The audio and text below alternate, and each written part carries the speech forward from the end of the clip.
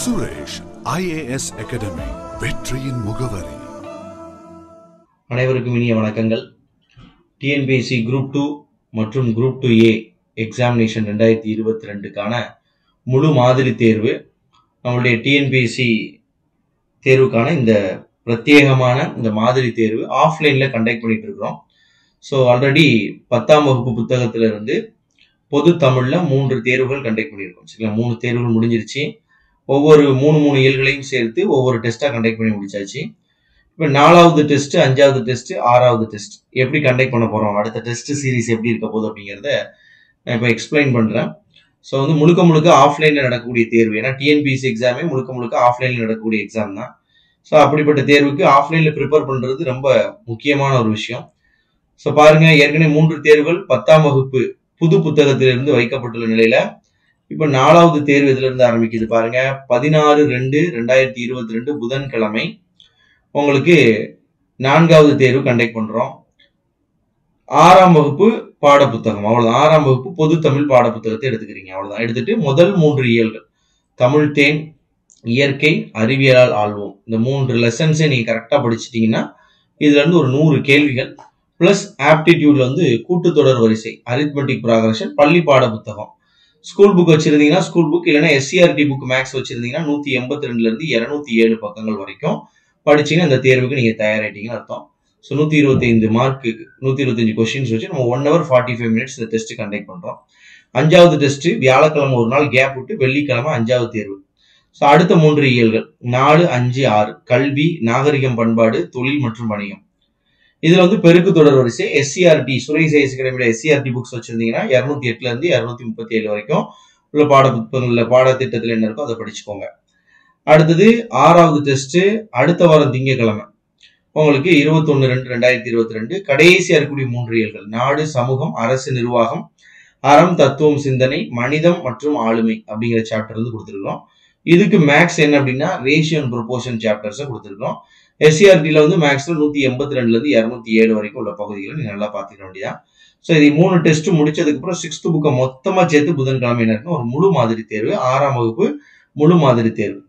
So பொது தமிழை பொறுத்த வரைக்கும் பொது ஆங்கிலத்தை பொறுத்த வரைக்கும் பள்ளி பாட புத்தகங்கள்ல என்ன கேள்விகள் கேட்குறாங்களோ என்ன இருக்குதோ என்ன விஷயங்கள் இருக்குதோ அதை மட்டும்தான் கேள்விகளாக கேட்பாங்க. வெளியே இருந்து எதுவுமே என்ன பண்ண மாட்டாங்க எக்ஸஸாக தெரிஞ்சுக்கிடுற மாதிரி இல்லை வந்து ஜென்ரல் நாலேஜ் மாதிரி கேட்க மாட்டாங்க.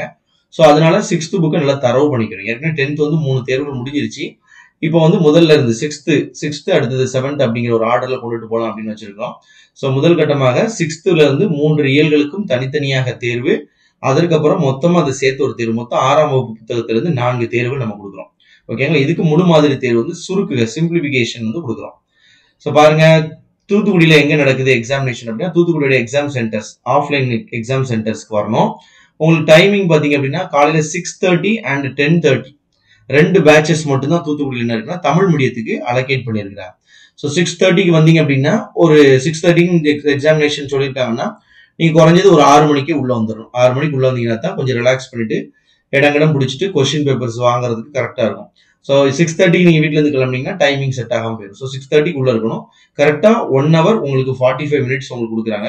கரெக்டாக எயிட் ஃபிஃப்டீனுக்கு எக்ஸாமினேஷன் ஓவர் ஆகும். முடிஞ்ச உடனே உங்களுக்கு கரெக்ஷன் கொடுக்க வருவாங்க. ஸோ கரெக்ஷன் அப்படிங்கிறது எப்படின்னா உங்களுக்கு இந்த நூத்தி இருபத்தி ஐந்து கேள்விகளுக்கும் விடையை மட்டும் சொல்லாம இது போக இந்த பாடங்கள் நீங்க என்ன பண்ணிக்கலாம் டிஸ்கஷன் செஷன் மாதிரி நடக்கும். ஸோ டிஸ்கஷன் அப்படின்னா உங்களுக்கு எல்லாத்துக்கும் விளாவரியா விளக்க சொல்லுவாங்க. மேக்ஸ் வந்து உங்களுக்கு சால்வ் பண்ணி காட்டுவாங்க. உங்களுக்கு தெரியாதவங்களுக்கு மேக்ஸ் என்ன ப்ராப்ளம் இருக்குங்கிறத மேல வச்சு நம்ம கேட்டு சால்வ் பண்ணி காட்டுவாங்க. அது போக உங்களுக்கு இந்த பாட புத்தகங்கள்ல எங்க இருந்தாலும் எப்படிலாம் கேள்வி கேட்க முடியும் அப்படிங்கறத நீங்க டெஸ்ட்ல நம்ம லைவ் டெஸ்ட்ல கண்டக்ட் பண்ணும்போது நீங்க பார்க்க முடியும். திருநெல்வேலியை பொறுத்த வரைக்கும் உங்களுக்கு டைமிங் டூ பிஎம் மதியம் ரெண்டு மணிக்கு மட்டும்தான். ராமநாதபுரத்தை பொறுத்த வரைக்கும் காலை பத்து முப்பது மணிக்கு மட்டும்தான். மதுரையிலையும் மதியம் இரண்டு மணிக்கு மட்டும்தான் தேர்வுகள் கண்டக்ட் பண்றோம். ஓகேங்களா ஸோ இங்கிலீஷ் மீடியம் டெஸ்ட்டை பொறுத்த வரைக்கும் டைமிங் உங்களுக்கு கொடுத்துருக்காங்க. தூத்துக்குடியில பொறுத்த வரைக்கும் உங்களுக்கு ரெண்டு மணிக்கு மட்டும் மதியம் நடக்கக்கூடிய ஒரு ஆங்கில தேர்வு இருக்கு. ஸோ டெஸ்ட்டுக்கு வந்து ஷெடியூல் வந்து இதுதான்.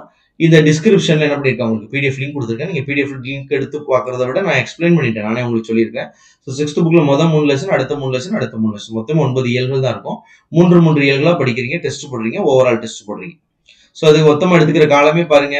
டெஸ்ட் வந்து பதினாறாம் தேதி நம்ம ஸ்டார்ட் பண்றோம். இருபத்தி மூணாம் தேதி. கிட்டத்தட்ட ஒரு ஏழு நாள்ல சிக்ஸ்த் ஃபுல்லா தரவா படிக்கணும் அப்படிங்கறத நோக்கம்.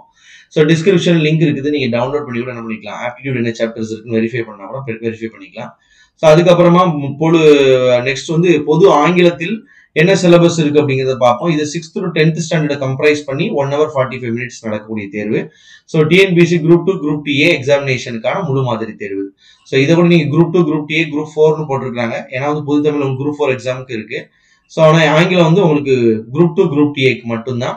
ஸோ வந்து பாருங்க தேதிகள் வந்து அதே மாதிரி தான் பதினாறு பதினெட்டு இருபத்தொன்னு இருபத்தி மூணு அதாவது திங்கள் புதன் வெள்ளி மூன்று நாட்கள்லயும் வாரத்துல மூன்று தேர்வுகள் நடக்குது. So syllabus synonyms antonyms phrasal verbs கொடுத்துருக்காங்க மேக்ஸ் வந்து அதே தான். ஆஸ் யூஸ்வலாக தமிழ் ஸ்டூடெண்ட்ஸ்க்கு என்ன இருக்கோ அதே ஆப்டிடியூட் தான் இங்க. ஹோமோஃபோன்ஸ் ப்ளூரல் ஃபார்ம்ஸ் அப்படிங்கிறது ரெண்டாவது நாள் சாப்டர் பெருக்கு தொடர் வரிசை. மேக்ஸ் வந்துட்டு ஆஸ் இட் இஸ் என்ன கொடுத்துருக்காங்களோ தமிழுக்கு அதே தான். Next British English American English blending and compound words அடுத்த சினானிம்ஸ் ஆண்டனிம்ஸ் ஃப்ரேசல்ஸ் எல்லாத்தையுமே கம்பைன் பண்ணி ஒரு ஃபுல் டெஸ்ட் என்ன பண்றாங்க உங்களுக்கு? கொடுக்குறாங்க.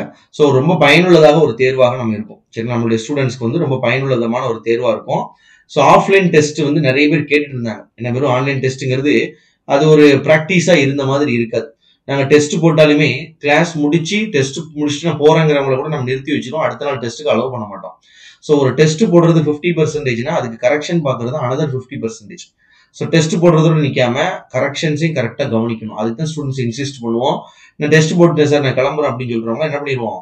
அடுத்த நாள் டெஸ்ட்டுக்கு அலோவ் பண்ணவே மாட்டோம். ஸோ காரணம் என்ன அப்படின்னா சார் ஸ்ட்ரிக்டாக சொல்லியிருக்காங்க.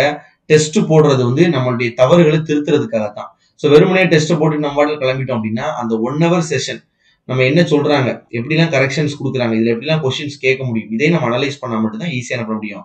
எக்ஸாம்ஸ் கிளியர் பண்ண முடியும். ஸோ டைமிங் கொடுத்துருக்கு. ஷெடியூல் சென்ட் பண்ணிக்கோங்க. டவுன்லோட் பண்ணி வச்சுக்கோங்க. அடுத்த மூன்று நாட்டு நாட்கள் நம்ம நல்லா வெறித்தனமாக ப்ரிப்பேர் பண்ணுங்க. ப்ரிப்பேர் பண்ணி கரெக்டாக அந்த டெஸ்ட் வந்து ஒரு டிஎன்பிசி டெஸ்ட் மாதிரியே அட்டன் பண்ணி நல்ல மார்க் எடுக்கிறதுக்கு ட்ரை பண்ணுங்க. நன்றி வணக்கங்க. சுரேஷ் ஐஏஎஸ் அகாடமி வெற்றியின் முகவரி.